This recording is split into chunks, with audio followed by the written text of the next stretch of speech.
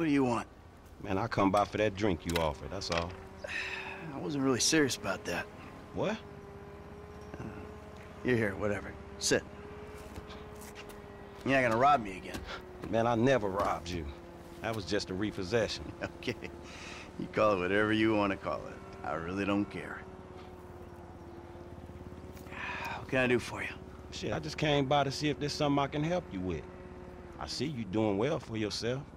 Look, I'm retired. Ain't you a bit young for the pipe, slippers, and staring at a fucking sunset? You know, I've been in this game for a lot of years. And I got out alive. That makes me the right age. you look like a good kid. But if you want my advice, you give this shit up. You work hard, screw over everybody that you love. Hurt, rob, kill indiscriminately, and maybe, just maybe if you're lucky, you become a three-bit gangster. It's bullshit. Go to college.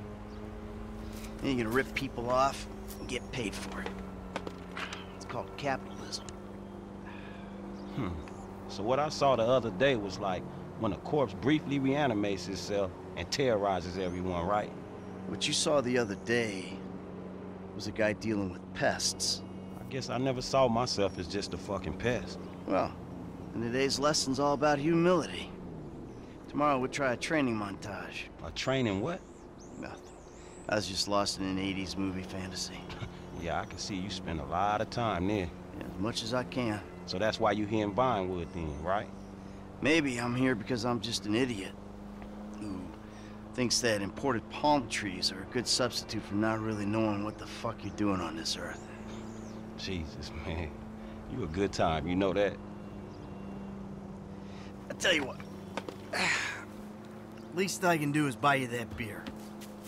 There's a little bar I like. It's not too far from here. Let's go. All right, man. I'm following you. Let's take Amanda's car. Hey, Jim. I'm going for a drink. with- Dad! I'm in our boat going down the Western Highway! It's. it's been stolen! What? The yacht's been stolen? I, I was trying to sell it! I know you didn't want it sold, but I need money, and they don't want to buy it, they just want to take it! I'm hiding in the head! You're insane! All right, I'm coming. For my boat! Alrighty then. Change of plans. My darling boy is in trouble. I'll do what I can to help with that, man.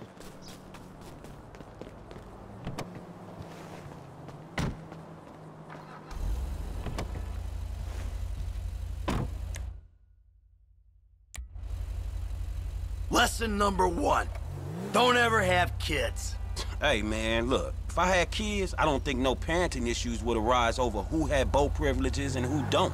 Shit, motherfuckers would be lucky to sit in a bathtub. Shit, things that desperate, huh?